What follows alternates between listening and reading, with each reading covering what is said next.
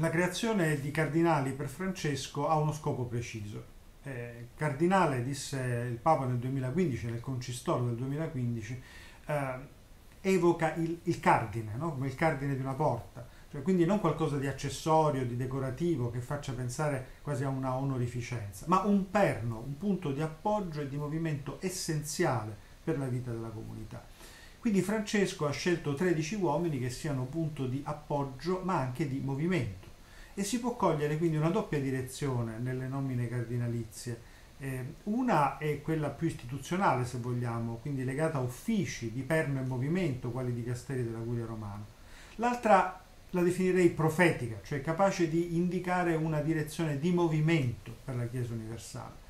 E mi piace vedere all'interno di questa eh, visione profetica anche le nomine eh, cardinalizie di eh, padre Mauro Gambetti, custode generale del Sacro Convento di San Francesco in Assisi, e padre Raniero Canta la Messa, predicatore della Casa Pontificia, l'uno conventuale, francescano conventuale, l'altro francescano cappuccino. Eh, la figura di eh, padre Gambetti, in quanto custode generale del Sacro Convento, eh, rappresenta in qualche modo il carisma francescano cioè il, rappresenta Francesco nella visione eh, che il Papa ha assunto sin dalla sua elezione, scegliendo appunto il nome del Santo di Assisi come nome da pontefice. Eh, questo sta a significare che il carisma francescano deve permeare sempre di più eh, la Chiesa, essere al centro della Chiesa, un segno molto forte quindi.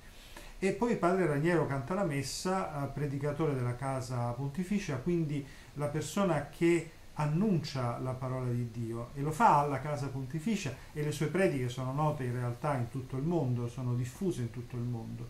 L'importanza della parola di Dio, l'importanza della predicazione vengono sottolineate dalla figura di questo frate che eh, tanto eh, è colto e nello stesso tempo tanto è capace di seminare la parola di Dio.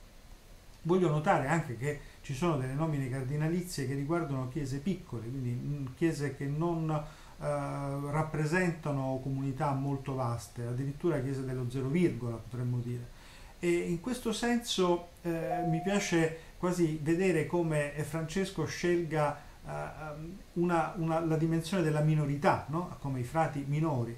Eh, cioè dove in fondo il seme è piccolo ma può dare frutto, quindi non è il criterio della potenza, della rappresentanza a valere, ma è il criterio del seme che ha potenza di crescita eh, mi piace rivedere un segno francescano anche, anche in questo. Eh, quindi comprendiamo che in qualche modo possiamo dire Papa Francesco annuncia il Vangelo anche con le nomine dei cardinali, che evidentemente ha anche una dimensione pastorale, annuncia il Vangelo dei piccoli, dei poveri, il Vangelo dei minori, che però è quello che è, sa essere lievito per il mondo.